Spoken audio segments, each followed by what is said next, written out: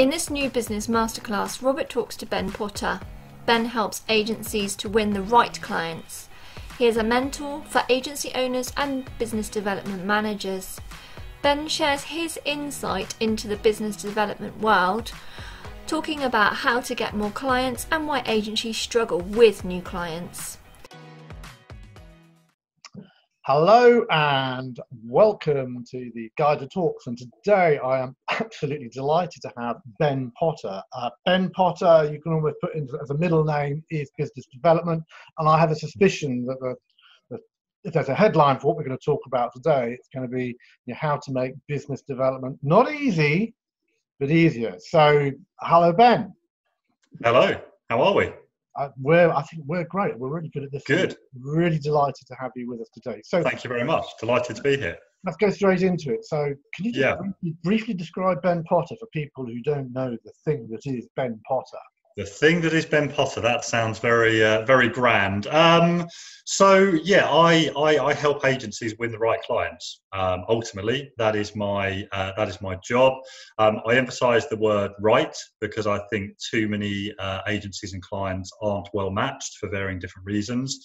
Uh, but my job is to really go in and work with often the agency owners on putting in place the necessary frameworks, processes, and skills so they can make business development easier. Not easy, as you said, uh, but certainly easier by the end of that time together. So, are you a consultant? Are you a coach? Are you uh, the, the, the, official title is, is mentor. I, I, I purposely avoided the word coach because having read up on it and read one or two books, I think coaching is a very specific skill of which arguably I don't quite yet have. Um, I, I, whether there's a difference between coaching and mentoring, I'm not entirely sure, but um, it is a word I avoided. But I tend to be working with agency owners, but often I'll also be working with junior to mid level BDMs, and that's where it probably is more of a, a mentor type relationship. So, um, I guess I guess let's start with the end in mind. So, how did you how did you get to 2020? What what what what is your your very potted history? Just so very potted, so very potted history. So we can understand where mm. where you've come from to be doing that now. Yeah, um, I studied marketing at university. I only tell this story because it is relevant to where I'm at today. I remember in the last year, a lecturer turned around to all of us and said, 75% of you in this room will go into sales. We all went, no bloody way. We'll all be doing creative marketing roles. Lo and behold, a few months later, uh, I'm in a recruitment job doing sales, and um, if I look at all of my mates that were at university at that time, they're all in sales roles of some form or another. So it started back there. Um, I was lucky in that I moved down to Brighton about 2003 from Hertfordshire. Met a lady called Rosie. Um, she set up an agency when she was four months pregnant. I looked at her and thought that was a good idea. Um, and the rest, as they say, is history. So during the 13 or 14 years that we ran that agency, whilst my job title was commercial director, uh, what that really meant was business development. So I learned an awful lot about what works, what doesn't. I made an awful lot of mistakes over that time. Um, and um, at the end of that, um, around about three years ago, we sold off part of the agency to another business in Brighton. And that was the opportune time for me to uh, reconsider where I wanted to go next. And since that time, I have been uh, consulting, mentoring, coaching, whatever we're going to call that. Um, so, uh, so yeah, that was just over three years ago, and um, here I am, still paying the bills. There's still a roof over the head, so seems to be going okay. Okay, so let's let's just get on with the so so our audience, our prime audience is is digital agency Mm. We also get a lot of people who are agent, what I call agency folk, but not as far as estate agents. And okay. but you, so it's it's kind of that branding piece, and there's always yeah. I think there's a lot we all have in common. Yeah. I, the six million, the six million dollar question, the thing that drives me totally bonkers. Yes. Um, I think you know what it is. is, is why do agencies struggle with business development? Mm, mm. I mean, it's number, number one on, on, our Facebook group piece. Yeah. Uh, yeah. 1,100 people. You know, yeah. uh, what is it you want to know more about? More sales. What do you want to yes. know about business development? What do you want to know about? Why can't we get more better customers? In fact, yeah. you know, I was just telling you just before we went online, I did this really big important workshop, and everyone from Ogilvy and they're all there in their Versace stuff. And I was, I thought, oh God, my PowerPoint deck is useless. We won't use the PowerPoint deck. We'll go back. Yeah. You know, what is it you want to know about? So, what is it you want to know about by one o'clock? Let's put it up on the flip chart. And these guys and gals with their multi-million, multi-billion pound agencies, mm. uh, international, global, intergalactic. What did they all want to know? How do we get more better clients? it, it, so, so, so, come on, tell me why? Why do agencies struggle with business development? in my in my experience having now obviously worked in agencies and now worked alongside dozens of agencies in the last kind of two or three years i tend to find it comes down to three or four things fairly consistently across the board. Um, i think uh, it's a cultural thing. It's often about the agency owners and their um, understanding or lack of understanding and appreciation of what actually business development means in today's world um, and I don't think it's given, or it's very, very rare that I find it's given the same level of attention as other areas of the agency. So agencies love to make sure the service offering is great and the operations are good and they've got the finances nailed down, etc., etc. You will know that as well as I, and they put a lot of time and attention into that. I don't think it's. Uh, I think it's particularly rare to find the same level of attention given to business development and, and marketing. If we want to wrap that wrap that together. Um, so, so culture and attention. So typical mm. 25 person agency. I'm, I'm working with a, a, 28 person full service agency at the moment. Mm. People, they have just taken on their first business development person. Okay. Okay. So, so 25 people. Yeah around about two and a half million turnover. Mm. Gorgeous, lovely work, fantastic. Mm. And when you say to them, so so what's what's the strategy for getting customers? And they actually said to me, well, actually, Robert, it's really interesting. Just when it goes really quiet, then the phone rings. Right. Guys, that is not a strategy. That is just, just hope is not a method. Okay. Absolutely. So yes, culture and and attention and focus. So that's, that's absolutely. And I think I think what that what that tends to result in is that often agency owners will jump from fix to fix to fix. Um, the classic kind of silver bullet. Well, we'll go and try a bit of that. Oh, that didn't work. Now let's go and try a bit of that. Or that didn't work. And that can also extend actually to bringing in a BDM. I think often they are seen as the solution. Uh, there you go, stick them in the corner. There's the telephone book, there's the PC, um, and the sales will start flying in. And I think the reality is it doesn't work that way.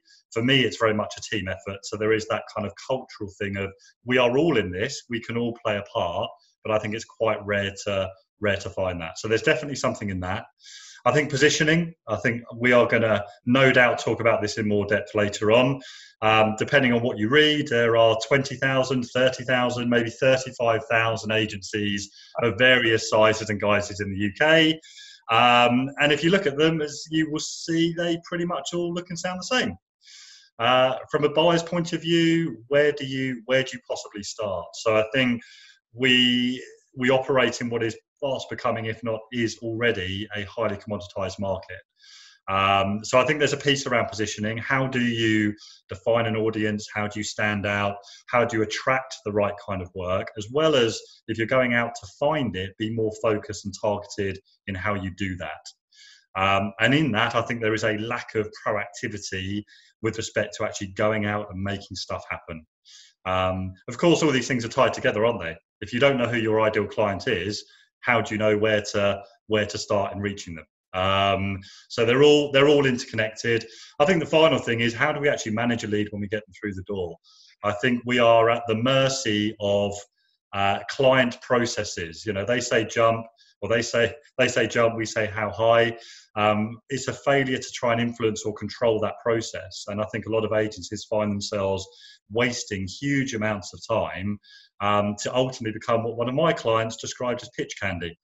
Um, and that is uh, spending all that time on something you're ultimately never going to win because they end up staying with the incumbent or not doing anything new or different. So I think there's a failure around that process piece as well. I mean, anyone who, who who's spoken to me recently, we've just uh, we just put out a piece of work for a very specific type of site for a client. We put it out mm. to agencies, and it was an agency that had a speciality. They'd done 20 sites like this site. I'm not going to be any more specific yeah. than that. And it was unbelievable to be on the other end of of their process. process. so, so, and it was it was mind numbing. They they wanted twenty thousand quid, which is fine. Mm. Um, so, but in the proposal, it said stage one exploration and discovery, six thousand pounds. Mm. Stage two, uh, first draft. Stage three, final drafts. And uh, when we went back to them and said, sorry, we don't quite understand what we're getting for our money, could you just sort of mm-hmm. outline mm. Deliverables were? We just mm. saying we don't think you're the right client for us. If you're asking us and questioning us now, then we don't wish to work with you. Right. Okay. we, we, we, we all what we want what we agreed was we're not going to do it for 20, but if they'll do it for 18, they can have our business.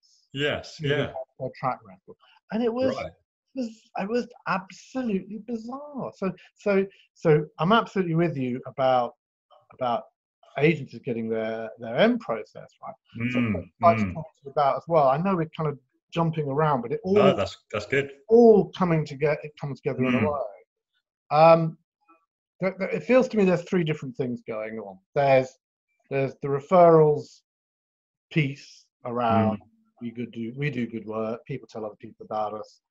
Uh, then the next level up is what I what I call farming, which is where we physically go out and we actually do stuff, actively yeah. encourage relationships, whether that's referral scripts or whether that's um, uh, having really clear elevator pitch and so on and so forth. Mm. And then there's a mm. top bit, which is what I which I I call hunting, which yeah. you know where you literally draw up a list of 200 clients you'd like to work with and sit down yeah. and what they want and you and you go after them.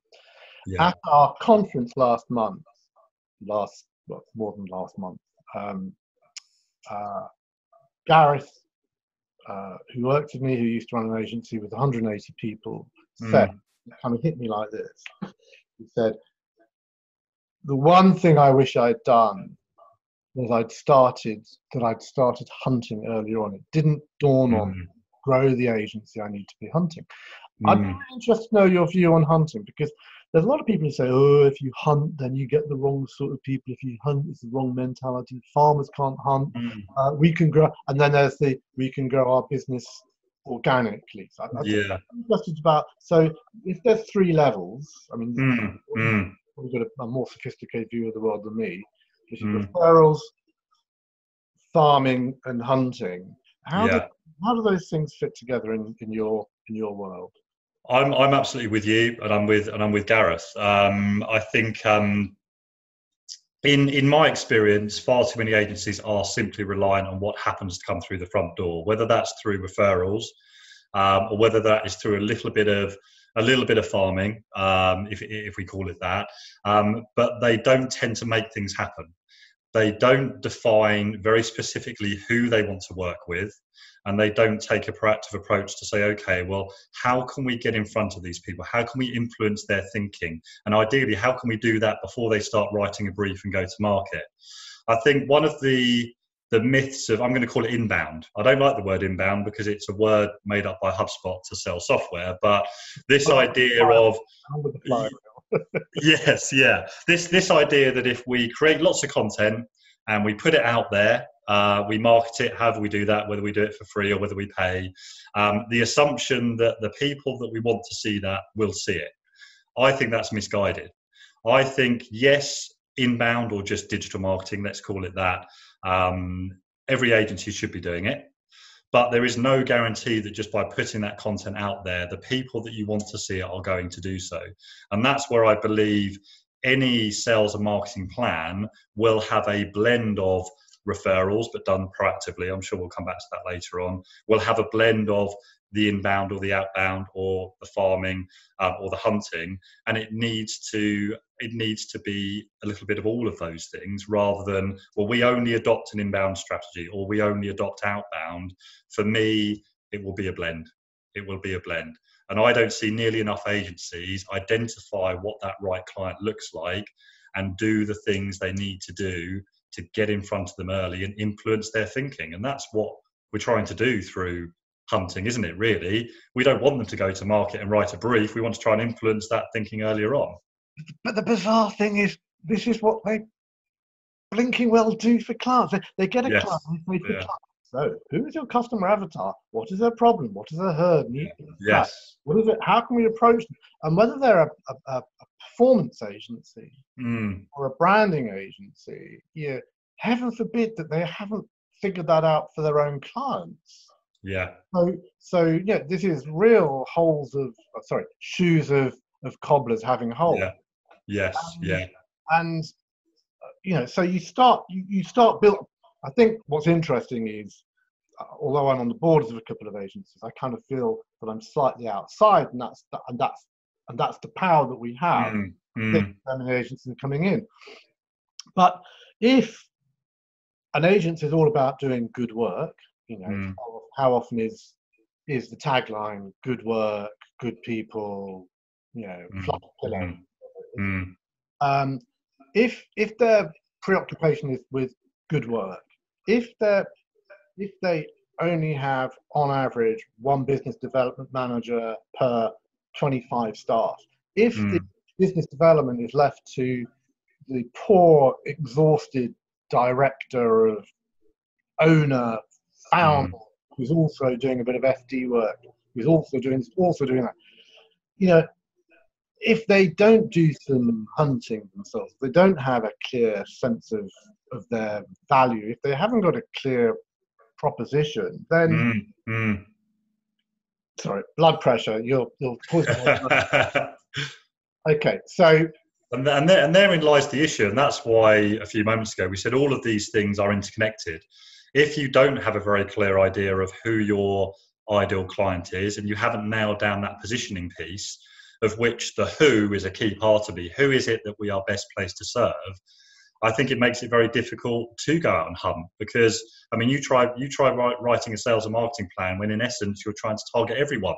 It's it's nigh impossible now have another go when you are targeting uh, retailers of under a million quid, for example, that are looking to elevate their business to five million quid. You know, that's a very clear segment of the market that an agency might be able to own.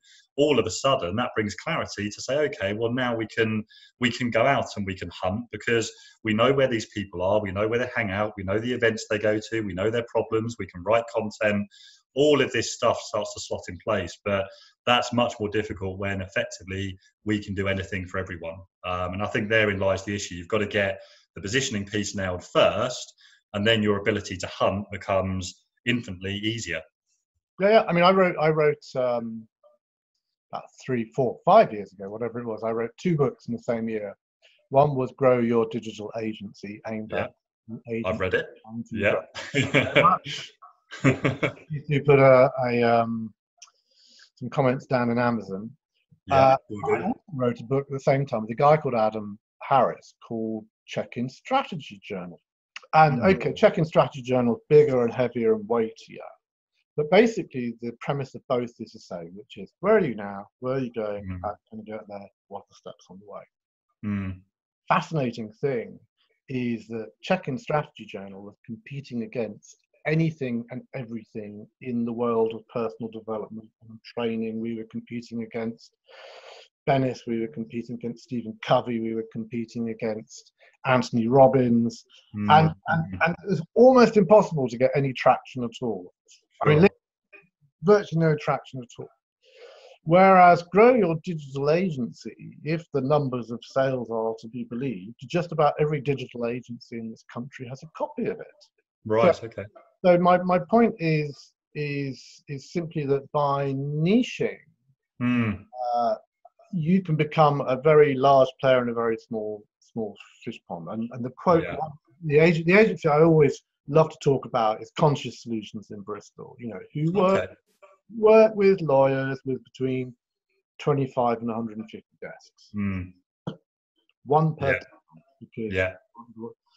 And it's and they know more about lawyers than lawyers do.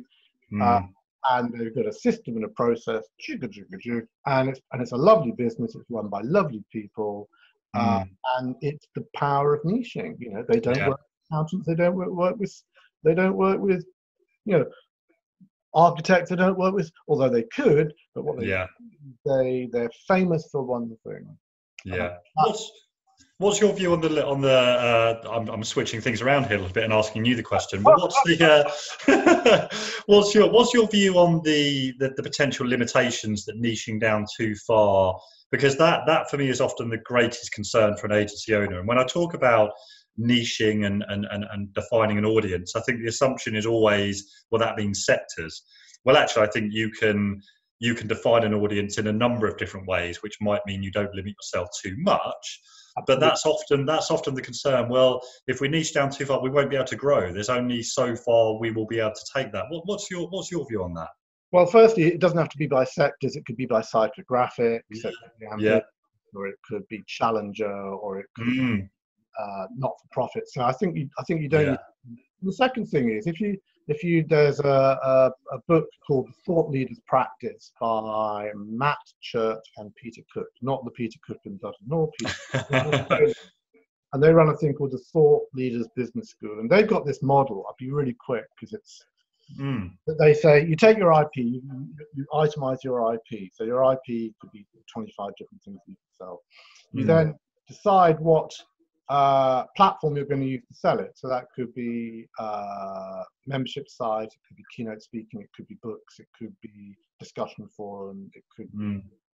be PPC. And then you decide what your target customer is. So it could be uh, managing directors or finance directors, finance industry, service industry, break it down. And they mm. basically say that you select you know, one piece of IP that you sell on one platform to one target customer. And if you take that approach, that kind of approach, once I mean, I, yeah, once Conscious Solutions has exhausted the 230 towns in the UK, each having a lawyer, yeah, they can go back and they can do exactly the same thing for accountants or architects. Mm. The IP, the DNA of the IP exists. Yeah, just coated and presented in a different way, in the same way yeah. that I've been asked to go from digital agencies to agencies. And from agencies, I've now been asked to work with IFAs. And mm. you kind of make a decision about uh, are you a not a one trick pony, but are you are you yeah. deep? Yeah, yeah. And, and and narrow, or are you wide and broad? And I think yes. it's it's easier to identify the competition. It's easier to identify the the, the potential customers. It's easier to identify their needs, wants, and hurts in the Mm-hmm. my thing. So yeah, I think, yeah. I think uh, how important is positioning? I think we're kind of saying positioning is everything. I think so. Yeah, I, I always ask people to imagine a, um, a pyramid. It's a bit like the Maslow pyramid, but a business development version. Positioning for me is the foundation. If you get that right, everything else that sits on top of that in terms of writing your proposition, in terms of building your sales and marketing plan, having a framework for how you qualify prospects, pitching, presenting, all of that becomes, again, not easy, but becomes easier by getting the position and piece nailed down at the beginning. I think inevitably, when you are a generalist, um, and uh, you know, I, generally I describe that as an agency that are doing lots of things for lots of different people. Um, inevitably, that's where you're going to fall into the trap of potentially being commoditized, downward pressure on pricing, a lot more competitive pitching, probably a lot more tendering, a lot more of the pitch candy that I referred to earlier on. So for me, positioning absolutely key. And is there a a model or a, a toolkit that you that you use around positioning? Is it just the marketing 101 you get out of Kotler or whatever people um, for, for, for me it comes in, in, terms of how I define what good positioning is in an agency context I think it's I think it's three things. It's defining that audience um, and as we said I think there are a multitude of ways you can do that and you can get quite creative with how you define the audience. A few examples we referred to earlier it's not only sector um, it might be where a client is on their journey, what they're trying to achieve, aspirations. It might be targeting a certain demographic. There are different ways of being able to do that, um, as well as some of the ones you referred to a moment ago. The second thing is, I do think um, the agencies that tend to stand out, stand for something. Now, I'm not going to start going into Simon Sinek. Um, I do think, eh, I do think um, I'm, I'm, very much in the middle with this. When I first read it, I went full hammer and tongs, and I disappointed myself when I couldn't find an agency um, that had that real proper sense of purpose because I think a lot of the reasons why agencies have been created, whilst there is a sense of purpose there, it's not necessarily relevant to the end client. They don't care that you worked for a big agency, thought it was a bit crap, and thought you set up on your own. That's great, that's your purpose, but it's irrelevant to the client. Um, but I do think if it's not a sense of purpose that you want to put front and center or should be front and center it's standing for something it's having a point of view it's it's not just drifting into the mirror of creating how to update your meta tags or how to do PPC better. It's actually having a bit of a point of your perspective that should be a little bit like Marmite in the sense that it's going to attract some people who share that point of view. It's actually going to attract others that don't. And I think that's that's, that's the critical part of it. Who they are, who we are. Who they are, yeah. Who we are. Third, uh, sorry? So it's who they are, who yeah. we who we are, yeah. And I think the final thing in terms of actually how you bring all this to life is just avoiding all the agency, uh, the agency speak, the the blurb, the um, uh, the the jargon, the, the the passionate, the award winning, the integrated, even the full service. I think a lot of the language that agencies use a when you actually step back from it and i'm in the fortunate position where you and i can do that and we can kind of get away with being a bit more forthright in our opinion um, i read a lot of it and go actually this is meaningless. It, it's not relevant to what the client is looking to actually buy. Um, and because everybody else is saying it it actually loses its meaning even more so. So I try and encourage my clients anyway to be more down to earth, more human, use normal even colloquial day to day language rather than the language of agency. I'd even go a step further. I think some of the some of the language of business has become a bit tired. Sales, revenue, market share. For me, they're almost a given. Can you find a more creative way of expressing that, which is possibly a bit more emotive? So that's my kind of criteria for good positioning. And then yes, there is a whole process that I would work through with a client that involves uh, workshopping with the with the senior team. It involves speaking to clients, speaking to staff, um, to try and find that that thing. It's always there. Um, it's whether they're willing to make the sacrifices needed to to specialize and to bring that thing to life. But you, but you kind of got to this bit about about the words that could be used and how the words could be used, and that they shouldn't be the standard award-winning mm. number one in Google Premier. Yeah. Uh, um, yeah, and, and then I was kind of waiting for you to say, for example, the sort of phrase might, might, appeal, might be, and you kind of went off. So, ah. what kind of, I mean, without being totally specific about what you've done, I mean, what, what hmm. an example of what, of what, what how you might bring that to life. Yeah, I think you know. Don't don't get me wrong. All these things are there. You know, they are they are features um, yeah. of which an agency will want to talk about at some point, and I totally get that. Um, it's just when you read a proposition which is literally plastered with integrated, award-winning, passionate, honest, friendly, etc., etc. To give an example, I did, um, and I, I, I, I won't name them because um, we're all going to Google it now. but I worked, I worked with an agency and I'm still working with them now down in London. And we went through this whole process and realized that most, if not all, of their clients are, are challengers. We, we, we talked about that earlier challenger brands. They operate at number two, three, four, or five in the market. There is an acceptance that they're never going to be number one because the number one player is too far ahead. Um, but they want to make life difficult for that number one player in the market. And through a client interview, one of the uh, one of the people I was interviewing said, "What we're looking to doing is really close the gap on that number one player." And I thought, close the gap. What a wonderful way of articulating in a more emotive way what they are trying to do. We could have just said they're trying to eat into market share or take revenue away from the leading player. So we ended up using that phrase, and that wouldn't have come out unless we'd actually spoken to the client and got their perspective on it. So a small example of where I think you can avoid some of the language of business and actually express the same thing in hopefully a more emotive, interesting way. Nice, very nice. very nice indeed. I can't uh, take the credit for it, of course, because it was the the client's client, but it it wouldn't have happened without I think that conversation taking place. Yeah, yeah, very good. So, so who in who in the agency should be managing new business, new business development?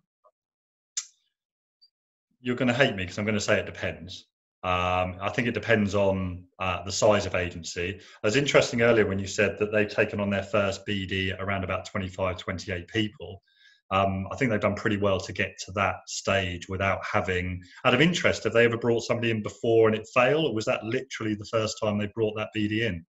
No, they are a really lovely, lovely bunch of people. Mm. Really lovely work. Yeah. Uh, and and they have an incredible um, commitment and loyalty from their clients. So they've always managed to maintain the agency by doing really, really great work. I mean, all the, mm. kind of in the way they use it, going the extra mile, doing great work, really understanding, yeah. and and making it a pleasure to work with. Yes, yeah. And then suddenly they realise that, uh, as often happens with with agencies, actually uh, we've got five more years or seven more years at this game. So yeah. we can do something serious about it. Let's be a bit more business-like. So yeah, let's step up to the plate, and rather than yeah. hope is not a method, let's actually invest in the future and and and and ramp and to become more professionalized. Yes, yeah, yeah. I mean, in answer in answer to the question, I think uh, of an agency uh, of a certain size uh, inevitably it's going to fall on the agency owners, um, those that are uh, most senior. And I think that works to an extent, particularly at the beginning. There's a, a, huge amount of excitement and enthusiasm. They're going to probably have a network of people that they can lean on for the, the referrals that they need to get the agency to, I think, a certain a certain point. Um, and I often find that agency owners are good at the bit where they're in front of people. Um, they can get very excited. They can ask the questions and so on. They're probably not quite so good at the what I describe in the nicest possible way as grunt work, and that is a lot of the the research. It's a lot of the the outbound activity, prospecting, if you want to call it that. It's it's it's all of that stuff that needs to happen to generate those opportunities. It's the it's the hunting bit that possibly they're not quite so good at, depending on their background.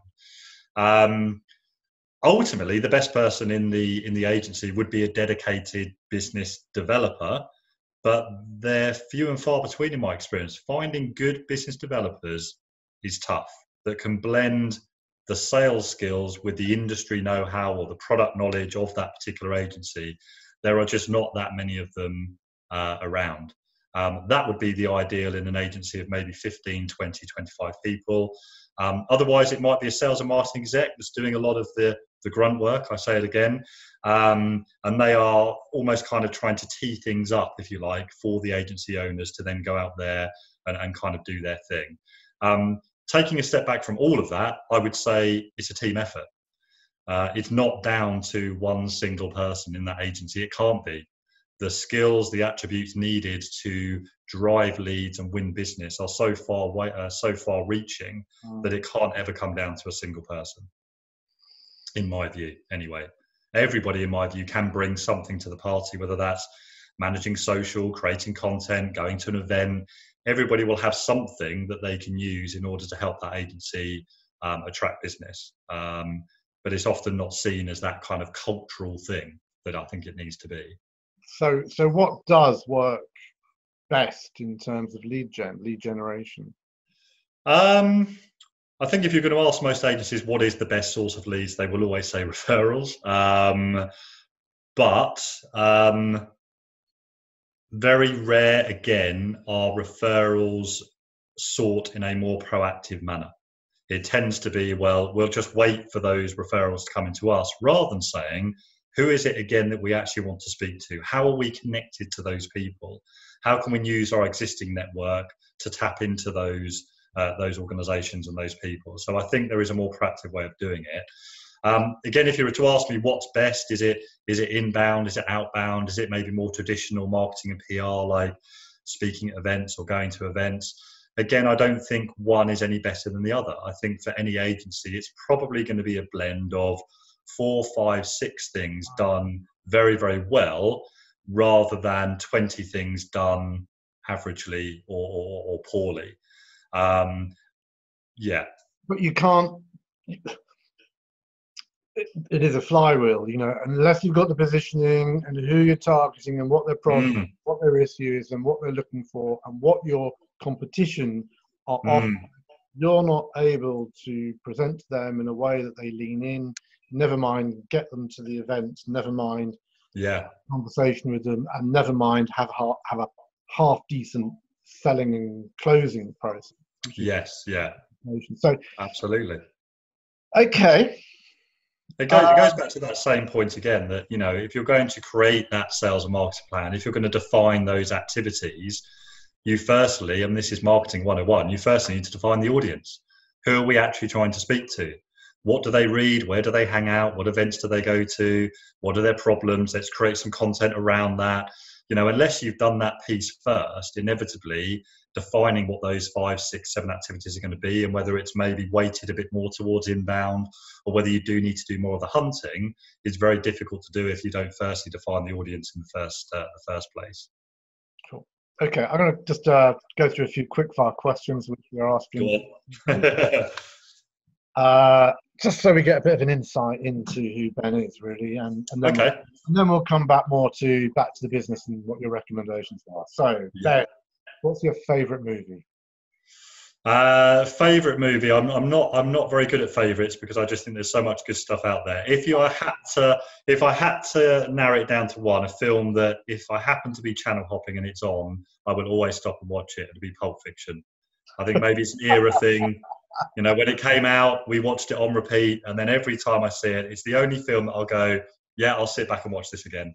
And you can you can jump into it anywhere. Yeah, exactly. Yeah, so at any point, if it's the last ten minutes or the first fifteen, oh yeah, and then before you know it, it's one o'clock in the morning on a Friday, and the kids are going to be up at six. But um, it's the one film that I will always watch. Regardless. Favorite album.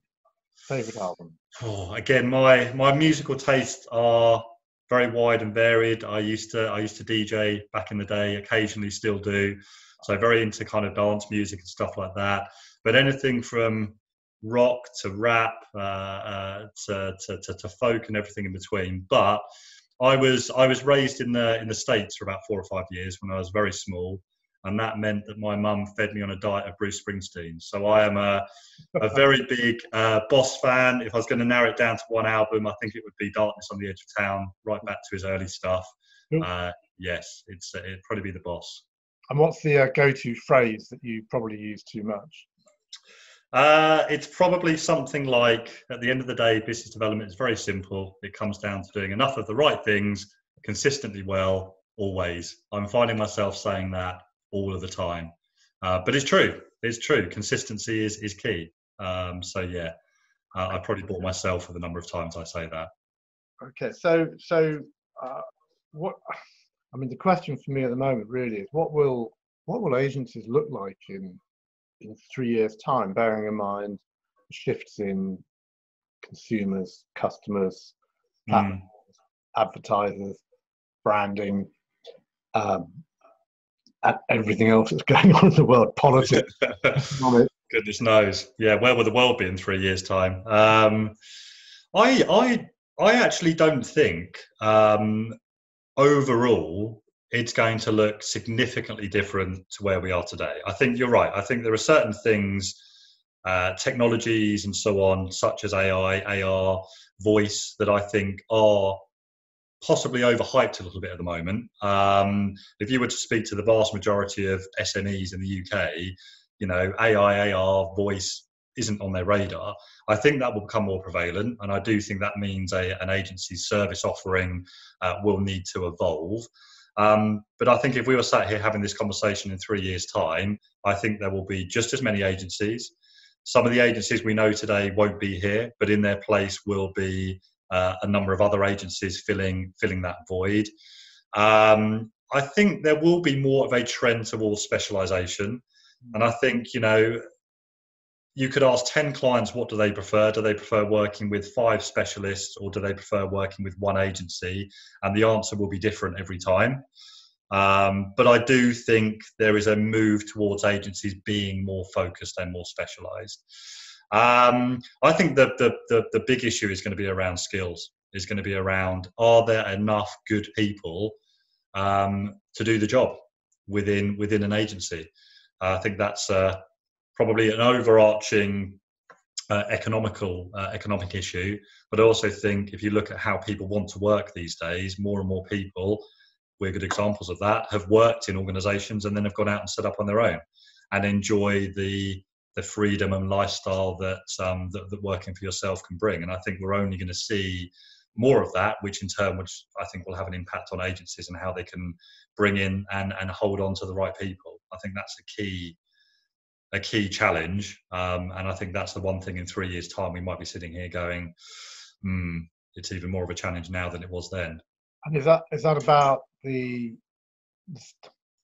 uh, the snowflakes and this, this younger generation who've been you know named for being notoriously entitled, etc., etc., or is that mm. right the way through?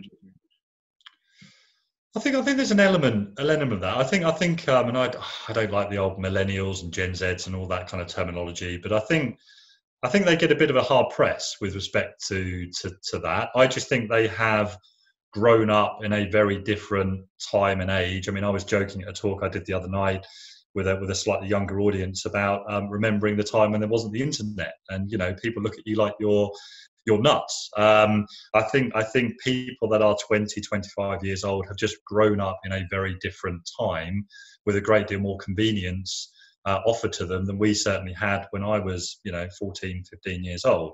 I think their expectations of work and the role it plays in their life is, is, is obviously very different to this kind of play hard, work hard type mentality of the of the 80s and 90s. So I don't necessarily blame them for that, but I think employers need to be able to adjust their approach to work and employment um, to account for it. Um, and and what's what's the the one thing the one thing right now uh, sorry what's the, the biggest challenge you think agencies are facing right now? Because they could argue it's the same thing or, or yeah i think i think so. Well if you if you if i mean going on what we've spoken about today if you look at um, uh, the Wow Company's bench press report uh, which which i think they're going to be releasing in the next two or three weeks last year it was business development. That was the number one challenge for most agency owners. So i think uh, that means that hopefully I still have a job in three years' time. Um, but I think I think I, I, think I think it is a lot around skill shortage and, and and people to do the jobs. I mean, the number of agencies I speak to who are trying to recruit for PPC people and are unable to find them um, is staggering. If I was 20, I'll tell you what I'd be doing. I'd be studying PPC day in day out um, because you can go and demand a fairly hefty wage if you do. But I think it I think it is those two things. It's it's winning the right work and then it's servicing it, which is ultimately what a, an agency is there to do. I think I know your answer to this one, but I'd be interested to hear it. What's the uh, the one thing that frustrates you most about the agencies that you meet? Excluding your clients, of course. Exclu- excluding my clients. Well, I, I, again, again, it goes back to that. Um, we're not really growing, or the market is tough, but we only rely on referrals for our new business. Um, it's like, well, I'm not surprised it's tough. If you're only reliant on something of which you have very little control over, how do you expect to grow your agency? And inevitably, that's why agencies are up and down like that because they're not taking control of that. So I think that's that's probably the most frustrating thing I would hear is is they're not joining those dots together. I think there's an expectation that the business will just land, and you and I know it doesn't happen that way. And and, and a, a one line recommendation. Is there a one line recommendation you give to virtually every single agency owner?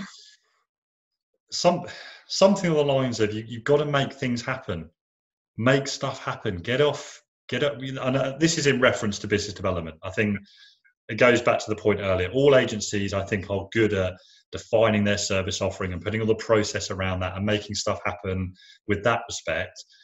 That they don't make stuff happen enough when it comes to we want to work with these brands. This fits the profile we can really add value there. We've done it before. Let's go out and make things happen and get our name in front of them.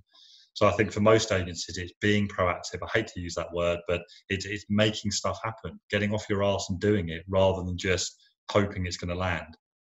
And um, because that happens what maybe once a year. Once a year, in my experience, maybe that one dream client came through the front door and you won it, and it was it was happy days. But beyond that, we had to go out and, and hunt. We really did. We didn't have the massive budgets and resource and flood of inbound leads that maybe larger agencies have. If you're smaller, you've got to get off your arse and make it happen. So, if what you were saying at the, at the, at the top of the program is right, that people don't do biz dev because of the culture, because of the lack of focus, because of the lack of attention, because uh, it's not what they're trying to do, because uh, they don't have the skills in place, because they don't have the positioning in place. Yeah. It's not. It's, is it is it just as simple as, as sitting people down and saying, let's sort out your positioning statement because out of that we can start figuring out how we're going to reach people, blah, blah, blah. or is there is there some kind of a secret sauce there that still needs to be kind of poured in to make it happen? Because because my point is, all agency owners all read the same stuff. They all know biz dev's a problem. They all go to the workshops. They all get. They all read the reports about biz dev being important. Mm, mm. Still, they struggle to find more of the right size, right type of clients because they mm. still don't give biz dev the credit, respect, whatever mm. it is. So yeah, yeah. Is there, is there a secret? I mean, is it is it just that some people just don't get it and they'll never get it, or is is it? I mean, is it that you go into people when the the light bulb kind of goes and people? What I just don't quite understand yeah, I suppose, I suppose often, often, often the trigger for maybe bringing somebody like myself in is they have jumped from thing to thing to thing to thing to thing, and found out along the way the hard way that none of those things in isolation have necessarily worked. So, you know, fielding stuff out to a lead gen agency, they do that for a year. That doesn't really work because, in my experience, it, it rarely does. Uh, they bring in a BD, but they don't necessarily know how to properly manage and nurture that person. So in three months, when they haven't brought business in, they're out the door. So I think I think often the trigger is look, we tried everything. There's an acceptance now that if we're going to do this well, we have to really take ownership of it and do it ourselves. We can't just keep sort of farming out to these different uh, different uh, suppliers, people, whatever else it may be. Is there is there a secret sauce? It, I honestly don't think there is. I think, you know, ultimately we are dealing with people. So I think if you're talking about positioning, you've got to have internal alignment. Everybody's got to be on the same page with respect to what that agency is trying to do. I think once that's nailed down, which is obviously a part of that positioning piece, for me, it's it's execution.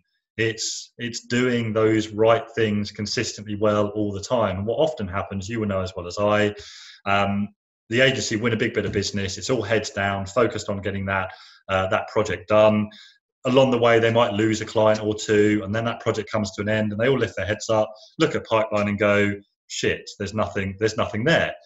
Um, so they turn the tap back on again, but of course, it takes weeks and months to build that pipeline back up. So the secret sauce for me is is very simple to say, very very difficult to actually get right in most agencies, and it's it's keeping the tap running all of the time, even when you don't think you need to. Keep the tap running because you don't know what's around the corner. That lovely client might all of a sudden hand the notice in, no fault of your own, but then you know there's a big hole to fill. Um, you can't just turn the tap on then and then expect that you're going to be able to fill that fill that hole overnight. It just doesn't doesn't happen like that. Mm, so, so what, what, uh, what next for Ben Potter? Yeah. What next? Um, a couple of years ago, we moved. We moved to the Midlands from Brighton, so I've been spending a lot of time getting to know uh, the world uh, in and around where I am now. So, looking at places like Leicester, Nottingham, it's given me a real impetus in terms of places that would be previously inaccessible, I think, from Brighton, really, to start finding out what's going on in this part of the world, even in places like Manchester and Leeds. And I studied in Liverpool, so I'll be making way uh, back uh, back there in the coming weeks and months. So that's exciting. There's there's loads going on. It's not all about London. Um, you will know, being down in Bristol, there's always scratch below the surface, and there are hundreds of agencies all doing brilliant stuff. So that's exciting. I've just started doing video. I've I've finally uh, relented to the to the pressure on LinkedIn and started uh, starting doing video.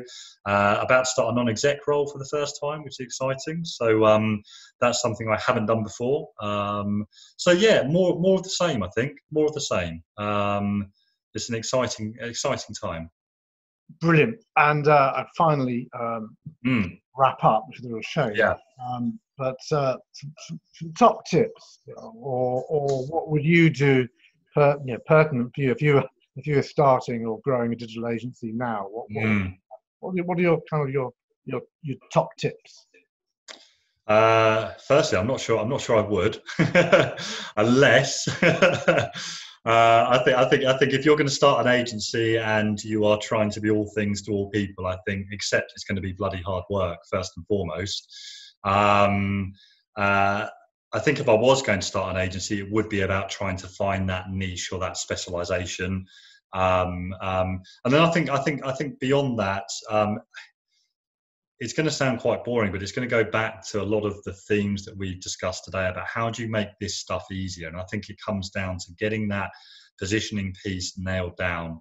It comes down to maybe doing four or five things really, really well when it comes to your sales and marketing activity rather than stretching yourself. I mean, there is so much choice these days. It's like a, a kid in a sweet shop when it comes to all the things you could be doing to attract leads. But my view is in most small agencies, you can probably do four, five, six things really well. So really focus.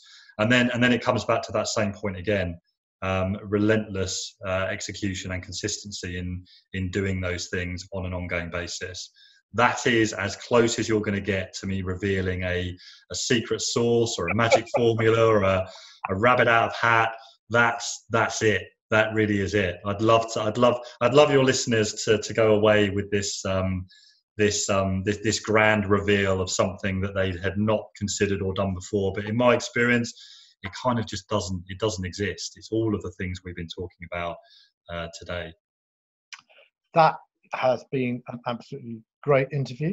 Uh, Thank really- you. pleasure Really having you on the program, Ben. Um, and it's just leave me to say a, an enormous big thank you. People will be able to find your contact details and so on. After. yes yeah Thank you very much indeed for a, a great conversation. Thank you. not at all thanks for having me